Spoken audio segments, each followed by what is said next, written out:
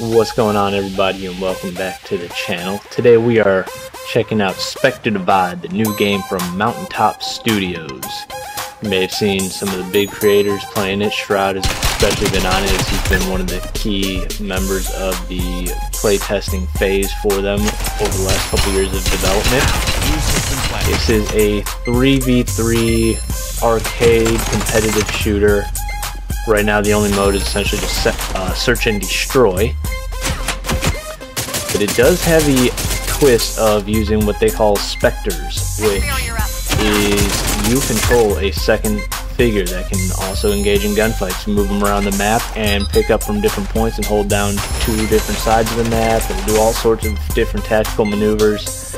It's a new game, so it's going to be interesting to see where people go with it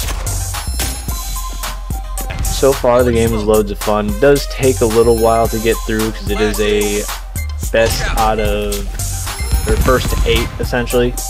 So it could be a total of 15 rounds to decide the winner. So it can take quite a while. Each round is relatively short with only about a minute for each round plus some time for the buy phase.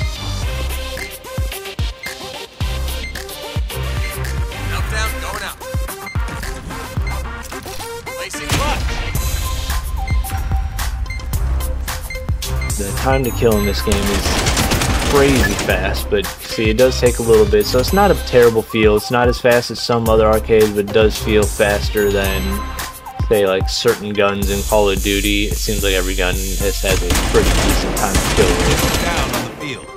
Um, is, they call it an ADS shooter. You can hold the ADS down and move straight left and right, no problem. Still pretty good speed. Moving forward, you get a little bit of a speed kill, but ultimately you can move pretty freely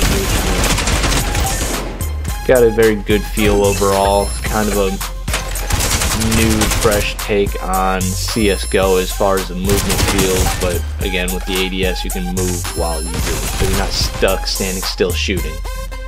You don't get full arcade movement, but you do get better than what you're used to with and Counter-Strike. I had a pretty good time with this game. You definitely want to play it with friends. Um, definitely better when you can communicate with your team because, like I said, it's three individual players, but controlling a total of six bodies per team. So the maps are relatively small and easy to maneuver around, but they are very direct in their paths, and you can really get yourself out of position pretty quickly if you want to. Carrier is down.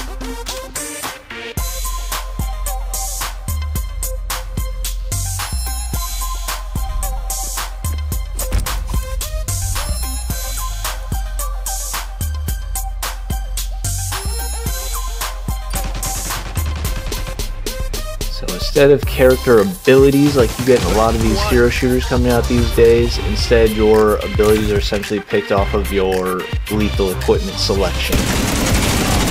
In this round I was using Pinnacle, which comes with a splinter grenade and a flashbang grenade and a heal tool.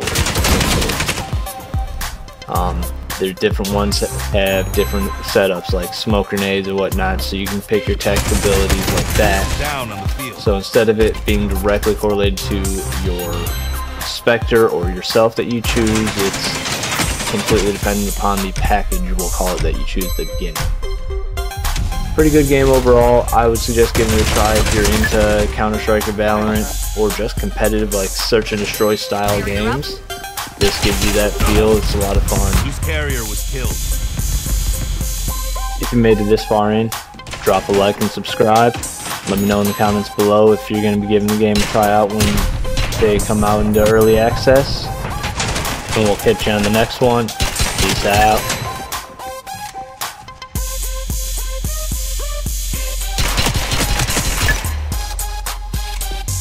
You have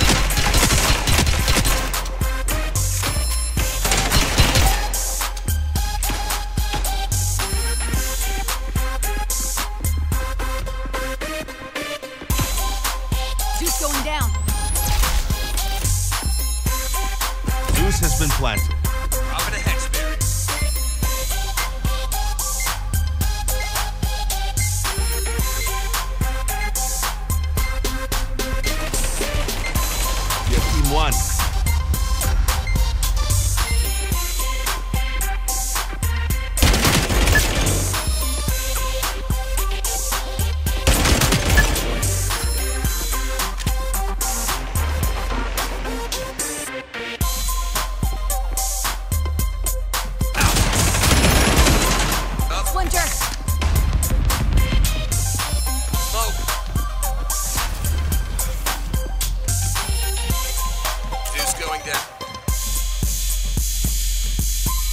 goose has been planted. Use the adrenaline. the grenade out. Countdown is.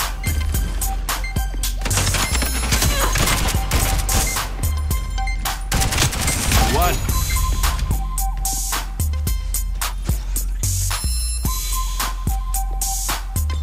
Splinter away.